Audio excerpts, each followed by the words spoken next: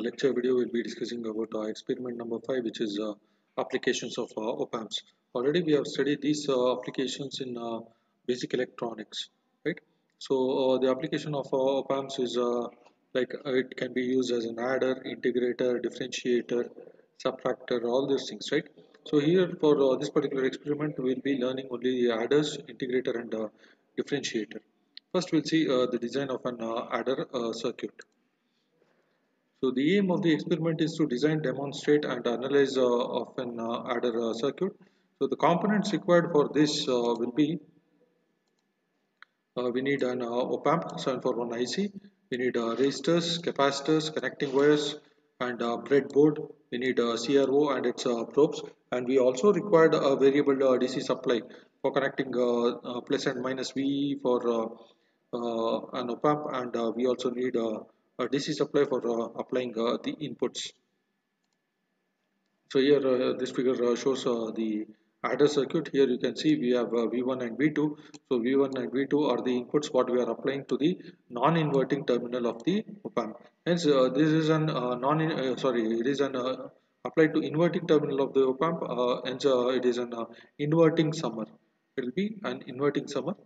Uh, we know the equation for an inverting summer it is uh, V0 will be equal to minus RF by R, R, R uh, divided by uh, V1 plus V2 when we consider this both R1 and R2 is equal to R then uh, we get uh, this particular formula that is V0 will be equal to minus RF by R uh, into V1 plus V2 so V1 and V2 can be any voltages. Uh, it can be uh, not, uh, it can be any voltage. It is not only one volts and uh, two volts. It can be any voltage, but uh, it should not exceed uh, this particular supply voltage. Right? If it ex exceeds this particular supply voltage, then automatically the signal will get chopped off. Uh, and uh, this particular uh, resistance since we have considered R1 is equal to R both R1 and R2 will be same. If you can if you choose your feedback resistance is also same as your R1 and R2 then we get the output which is equal to minus V1 minus of V1 plus V2 why minus in the sense your output will be uh, 180 degree phase shifted uh, with respect to the input. Since we are applying uh, the input to the non-inverting terminal the output will be phase shifted version hence we represent it with uh, a negative uh, sign. So this is about uh, the design of the adder circuit.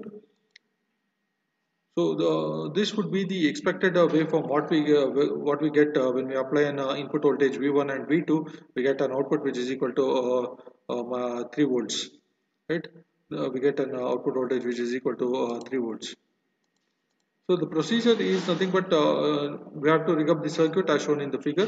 We have to apply the power supply, uh, uh switch on the power supply and then we have to uh, uh apply different uh, values of V1 and V2 and then we can measure the output across through your CRO. So this is about the design of adder circuit. Thank you. Adder circuit. This is the circuit diagram of the adder circuit. So you are using your op amp, you are going to give two inputs to the op amp and we are going to see what is going to be the output. So we are going to give the inputs to the inverting terminal of your operation amplifier and the non-inverting terminal is going to be ground. Now we will see the circuit connection and how to execute it. So this is your op amp 741. Here there is a dot symbol there. This dot symbol represents is your pin number 1. So this is pin number 1, 2, 3, 4, and this is your pin number 5, 6, 7, 8. Now we will see the connection, how to connect your uh, adder circuit. Now in this adder circuit we are going to have the pin number 2, we are going to connect between a pin number 2 and 6, we are going to have 1.8 kilo ohm resistor. This is 1.8 kilo ohm resistor there. So this kilo ohm, this resistor we are going to connect between a pin number 2 and 6. So this is your pin number 2 and this is going to be your pin number 6. So second pin 4, 5, 6. So between pin number 2 and 6 I have connected the resistor 1.8k. Now between pin number 2 and one input I have to connect another 1.8k. So between pin number 2, so this is your another 1.8k. So between your pin number 2 and your input I am going to connect on resistor 1.8k that is going to be a V1 input. Next is again your pin number 2 and another input I am going to connect your second input this is your V2 input. So now two inputs are connected, two resistors. This 1.8k is over. So now we'll connect your third pin that is your uh, minimizing resistor 560 ohms. So 560 ohms is this uh, 30k. Here this is going to be a 560 ohm resistor that I am going to connect it there. Now what we are going to do is we are going to connect your uh, inputs here. So this is a supply where each supply is going to act as an input here. So this one will act as V1, this one will act as V2. Now V1 I will connect. So positive voltage we are going to give. So positive I am going to connect it to your one, one end of the resistor and negative I am going to ground it. Similarly, the other input is your positive. Your positive I am going to give to the other end of the resistor. This is your other end of the resistor and negative I am going to ground it. So now all these connections are over. Now we have to go to VCC. So we are going to take a dual VCC. In this dual VCC, each supply will act as a voltage source there. So this will act as plus VCC and this is going to act as minus VCC. So here in this case, plus VCC will be connected to pin number 7. So this is your positive. Your positive will be connected to your pin number 7 here. So this is your seventh pin. So pin number 7. Negative will be connected to ground terminal. That means positive VCC is there. Now next is fourth pin is negative VCC. So negative VCC means your negative terminal is going to be connected to your fourth pin and positive is going to be connected to your ground. Next is we have to connect your output. So output, so since you are going to give a positive input, your output is going to be negative. Negative means this negative should be connected to negative of your voltmeter should be connected to your pin number 6 and positive of the voltmeter should be connected to ground terminal. So now I will switch on the power supply. So this is going to act as input. So before switching on, make all the voltages to 0. So now this is your power supply. Your power supply you are going to keep it at 12 volts.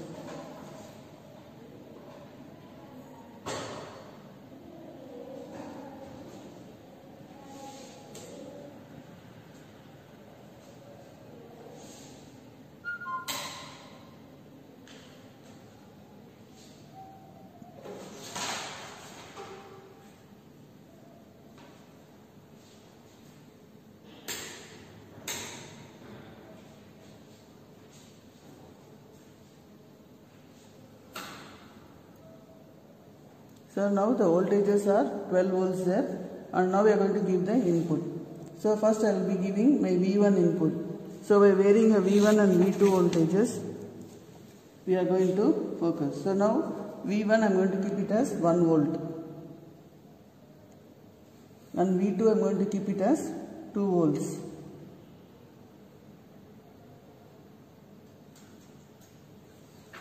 So we know that your output expression V naught is equal to minus RF into your V1 by R1 plus V2 by R2.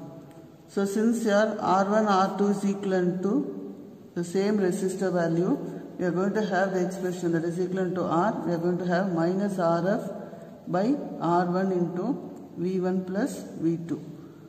So your RF is 1.8K R1 is 1.8K, V1 is 1, V2 is 2. So that means that output is minus 3 volts. So that is what we are getting it here.